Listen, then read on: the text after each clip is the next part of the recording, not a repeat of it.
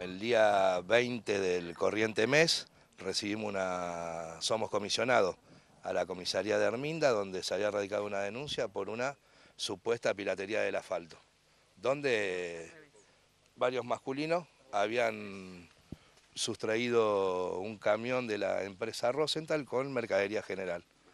¿eh? Por lo cual, bueno, se realizan ciertas diligencias investigativas donde logramos constatar que se trataba de una falsa denuncia y el día de ayer se realizaron varios allanamientos en la zona de Pérez y Soldini, eh, logrando el secuestro de la totalidad de la mercadería y la aprehensión de dos masculinos imputados en el presente hecho. Eh, ¿Quién hace la denuncia? ¿El camionero, el chofer del camión? La denuncia la hace el chofer del camión, el cual estaba en complicidad con estos eh, malhechores, digamos. ¿La mercadería ya estaba distribuida?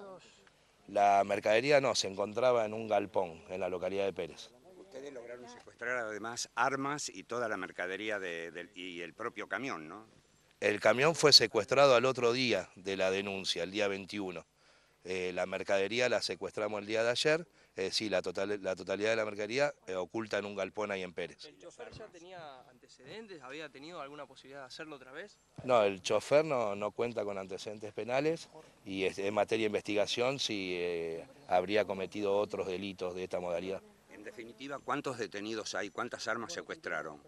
secuestramos dos armas de fuego, la totalidad de la mercadería denunciada y eh, la aprehensión de dos personas.